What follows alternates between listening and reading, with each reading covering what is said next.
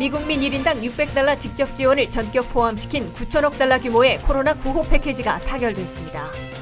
미국의 11월 소매 매출이 1.1% 하락한 것으로 나타났지만 코로나 경기 부양책으로 소비와 경제 회복이 기대되고 있습니다.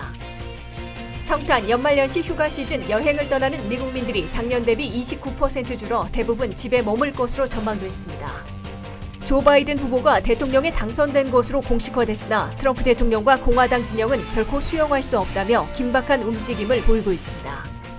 올해 첫 눈폭풍이 수년 만에 가장 큰 규모로 미 북동부 지역에 상륙했습니다. 시청자 여러분 안녕하십니까? 워싱턴 뉴스 투데이입니다.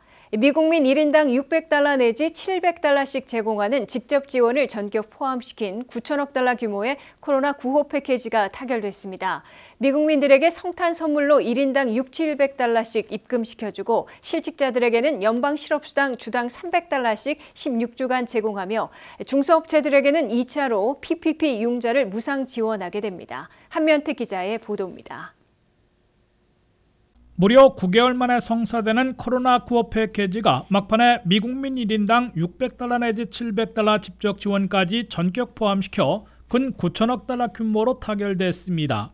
민주당의 낸시 펠로시 하원의장, 척 슈머 상원대표, 공화당의 미치 매코널 상원대표, 케빈 매카시 하원대표 등 최고 지도부 4명은 오후와 저녁, 밤까지 수차례 회동을 갖고 초당 안에서 제외된 미국민 현금 지원을 전격 포함시키고 근 9천억 달러 규모의 코로나 구호 패키지를 연내 시행키로 합의했습니다.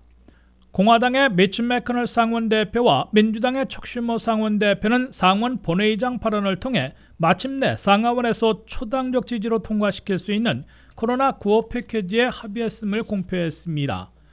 We made major headway toward hammering out a targeted pandemic relief package that would be able to pass both chambers And as we race the clock to reach a final accord before the end of the year, we are close to an agreement. 특히 막판에 전격 포함시키기로 합의한 미국민 직접 지원은 1차 때 1200달러의 절반에 해당하는 600달러 내지 700달러가 될 것으로 공화당 상원 서열 2위인 좌한순 원내 총무가 밝혔습니다. 미국민 현금 지원에 투입하는 1,500억 달러를 초당 안에 7,480억 달러에 더하면 이번에 시행할 코로나 구호 패키지의 총 규모는 근 9천억 달러가 됩니다.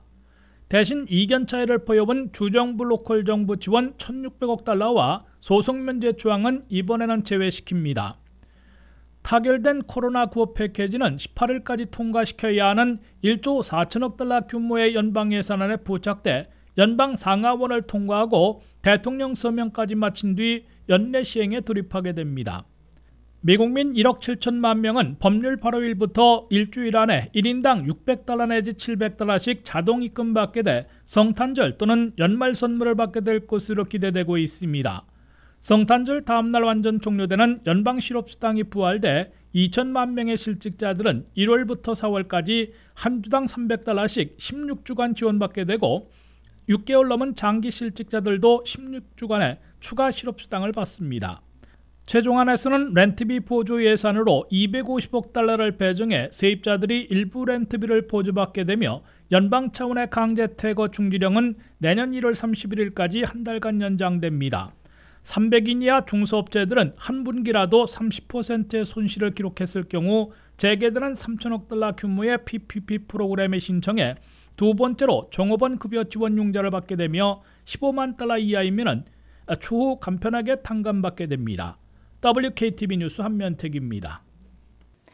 올 연말 대목의 출발이었던 미국의 11월 소매 매출이 1.1% 하락한 것으로 나타나 코로나 사태에서 회복하던 미국 경제를 다시 냉각시키고 있습니다.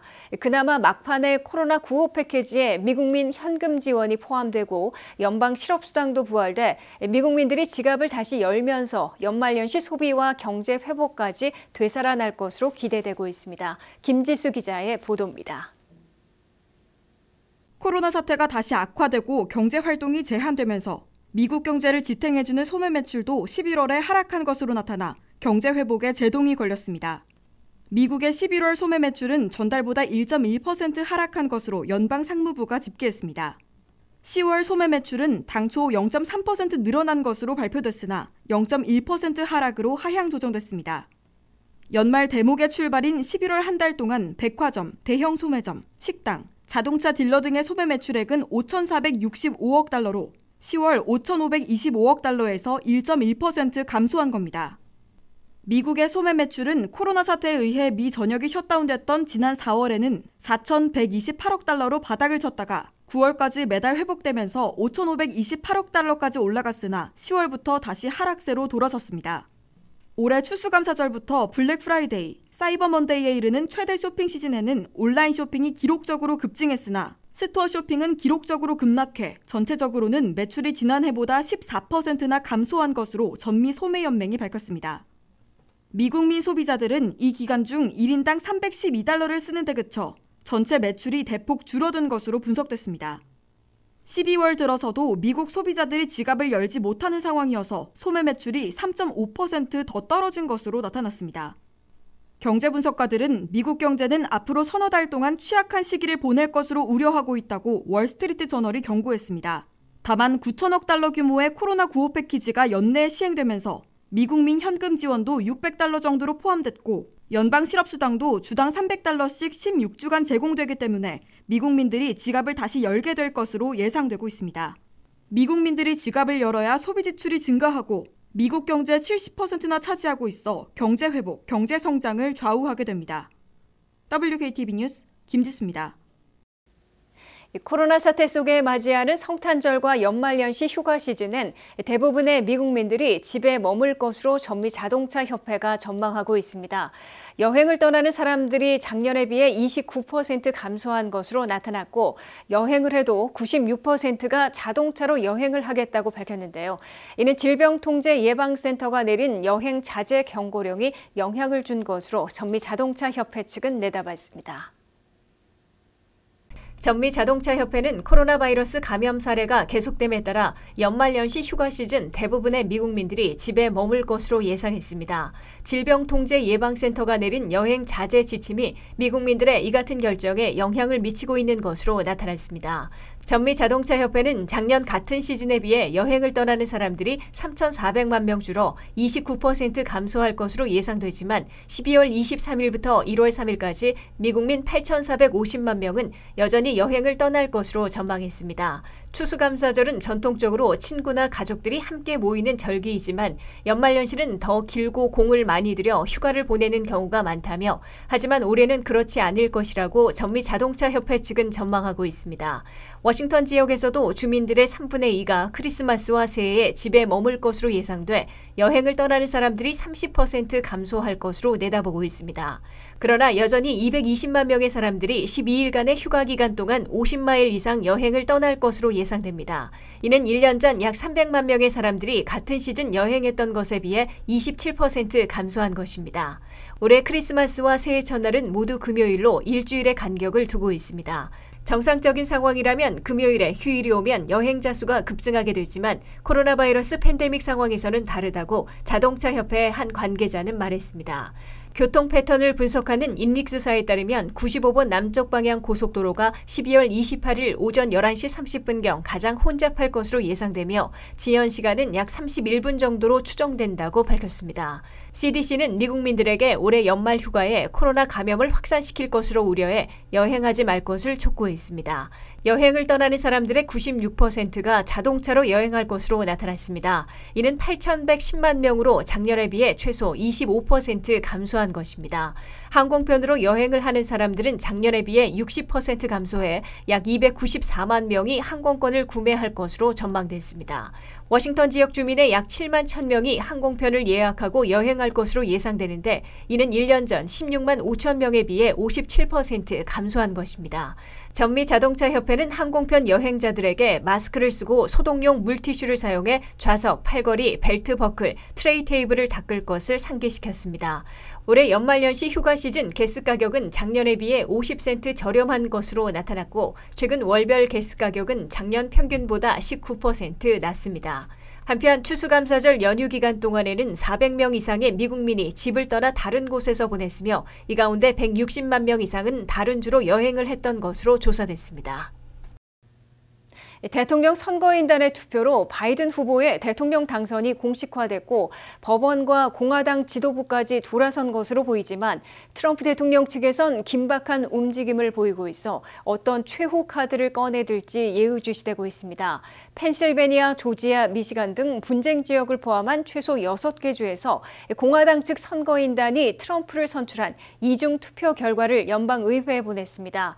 또한 3개 주에서 서명 대조 등 감사에 착수했습니다. 있으며 윌리엄 바 연방 법무장관이 사임해 지각 변동이 벌어질지 긴장감이 감돌고 있습니다. 한면태 기자가 보도합니다.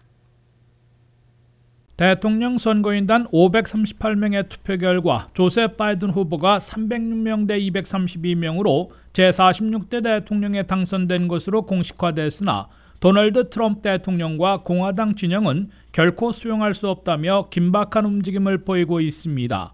선거인단의 투표일에 주의회를 장악하고 있는 공화당 측은 펜실베니아, 미시건, 조지아, 애리조나, 위스콘신, 네바다 등 분쟁 지역에서 트럼프 펜스에 투표한 이중 투표 결과를 연방의회에 보내고 이를 카운트해 줄 것을 서명 결의안으로 요청했습니다. 분쟁 지역에서는 주지사나 선거관리위원장이 바이든 해리스 선출 결과를 연방의회에 보냈지만은 공화당 측 선거인단들이 트럼프 펜스에 투표한 투표 결과를 보내 이중 투표 결과가 보고된 셈이 됐습니다. 1960년 선거에서 하와이주는 주지사가 공화당 리처드 닉슨 후보의 승리를 보고했지만은 민주당 선거인단이 존 F 케네디 후보의 당선을 보내 결국 연방의회가 재검표에서 이긴 케네디 후보의 승리를 채택한 바 있습니다. 이는 12월 14일 선거인단 투표일과 1월 6일 연방의회 개표일 사이에 선거 결과가 바뀌면 대통령 당선도 뒤집힐 수 있음을 시사해주고 있습니다. 이런 상황에서 조지아 주정부는 같은 공화당이면서도 트럼프 측 요구를 외면해 오다가 콥 카운티에 한해 우편 투표지 봉투의 사인과 유권자 등록 시의 서명이 맞는지 대조하는 감사에 착수하는 결정을 내렸습니다. 2주 아닌 이달 말 안에 나올 감사 결과 우편 투표지 봉투의 서명이 불일치하거나 가짜인 것으로 드러날 경우 주 전체 우편 투표지 서명 확인 감사로 확대되고 12,670표 차이의 바이든 승리가 날아가며 엄청난 파문이 타 지역으로 확산될 것으로 예상되고 있습니다. 트럼프 표가 6,000표나 바이든 표로 뒤바뀌었던 미시간주 앤트림 카운티의 투개표기를 포렌식 감사한 결과 투표기와 소프트웨어의 에러율이 68.05%나 되는 것으로 판사 명령으로 공개된 감사 보고서에서 나타나 논란을 겪고 있습니다. 분쟁 지역 상황이 급박하게 돌아가는 가운데 도널드 트럼프 대통령은 트위터를 통해 윌리엄 바 연방 법무장관과 좋은 만남을 가진 결과 그가 성탄절 직전에 장관직을 떠나기로 했다며 23일 사임을 공식 발표하고 법무장관 대행에 측근인 제프로젠 부장관을 임명했습니다.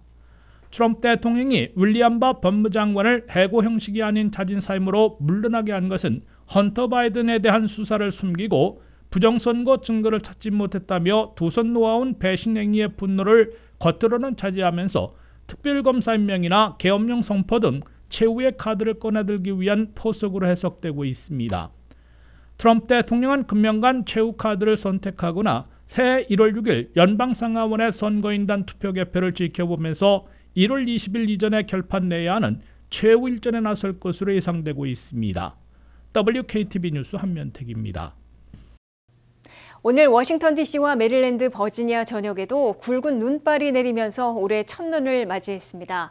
이번 겨울 폭풍은 2년 만에 찾아온 거대한 규모였는데요. 워싱턴 지역에는 최대 16인치의 눈이 예보되고 있는데 워싱턴 DC 남쪽과 동쪽 지역에는 비가 내릴 수 있어 홍수 가능성도 배제할 수 없는 상황입니다.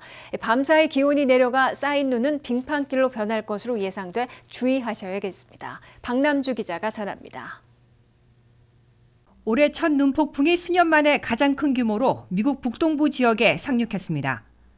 오늘과 내일 대서양 중부와 북동부 및 뉴잉글랜드를 상륙하는 이번 겨울 폭풍은 현재 진행 중에 있으며 지역에 따라 최대 EPT의 눈이 내릴 수 있어 수천만 명의 사람들이 눈폭풍에 대비하고 있습니다. 오늘 아침 DC와 메릴랜드, 버지니아 전역에도 굵은 눈발이 내리면서 올해 첫눈을 맞이했습니다. 이번 겨울 폭풍은 지난 2년 만에 가장 거대한 규모입니다. 워싱턴 지역에는 최대 16인치의 눈이 예보되고 있는데 DC 남쪽과 동쪽 지역에는 비가 내릴 수 있어 홍수 가능성도 배제할 수 없는 상황입니다. 오늘 오후 4시에 내려진 홍수 경보는 목요일 오전까지 유효합니다. 이번 폭설과 눈은 목요일 오전 6시경까지 계속될 것으로 보입니다.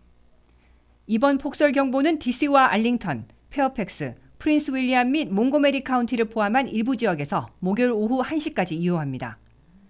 윈체스터를 포함한 메릴랜드와 버지니아 일부 지역도 목요일 오전 4시까지 폭설 경보가 발령돼 있는 상황입니다. 어제 오클라호마 지역에는 최대 6인치의 눈이 내렸고 오늘은 동부 해안에 상륙해 노스캐롤라이나 서부에서 버지니아 북부까지 현재 눈폭풍 영향을 받고 있는 상황입니다. 버지니아 중부에서 메인까지는 3에서 6인치의 눈이 예보되고 메릴랜드주에서 매세추세츠 남부까지는 6에서 12인치 이상의 눈이 내릴 것으로 보입니다. 웨스트 버지니아 동부와 메릴랜드 서부의 일부 지역처럼 고도가 높은 지역은 최대 2피트의 눈이 쌓일 것으로 예보되고 있습니다. 기상청에 따르면 버지니아 북서부 지역은 눈과 진눈깨비가 내려 최대 0.25인치의 얼음이 낄 수 있으며 메릴랜드 헤이거스 타운에는 1피트 정도의 눈이 쌓여 주차원의 대응을 시작했습니다. 펜실베니아 중부에는 최대 24인치까지 눈이 내릴 수 있다고 예보되고 있습니다. 톰 울프 펜실베니아 주지사는 펜실베니아는 다른 주와 마찬가지로 코로나 백신을 배포 중인데 이번 눈폭풍으로 배송에 차질이 없도록 도로 상황을 면밀히 살피고 있다고 브리핑한 바 있습니다. 이번 폭설과 비는 밤사이 기온이 영하권으로 내려가면서 곳곳에 빙판길을 만들 것으로 보여 내일 아침 출근길은 각별한 주의가 필요하겠습니다. WKTV 뉴스 박남주입니다.